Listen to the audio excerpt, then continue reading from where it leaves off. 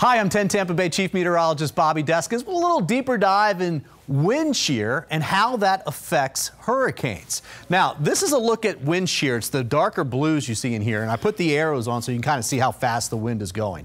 Uh, you can see if we take it out into time, there's a lot of wind shear across the Gulf, parts of the Caribbean as well too.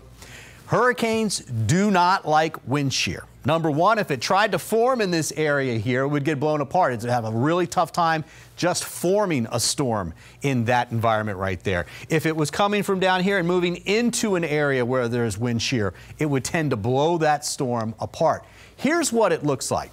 So uh, the hurricanes are basically like a machine, right? There's lots of air going quickly around that eye wall and moving up and out. I know hurricanes have real low pressure, but did you know that above that, we like to have an area of high pressure higher in the atmosphere. That allows that air that's rising up in the center of those storms in the eye to get up and come out and spread out.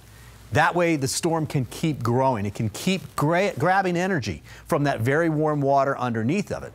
That would be a healthy storm. Now, apply wind shear to that. Wind shear is essentially the change of wind speed or even direction with height. So you may not have a lot of wind down here, but the higher the storms go up in the atmosphere, they run into this really quick wind.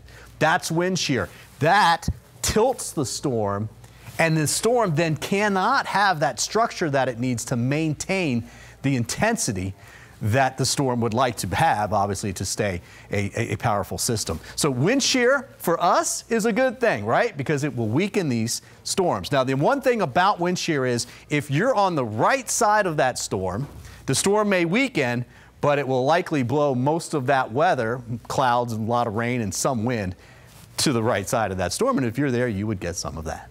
Stay informed, prepared, and connected with 10 Tampa Bay during hurricane season and every day. Watch us on your phone. Just download our app, stream us on your TV, and you can even watch live newscasts on 10tampabay.com.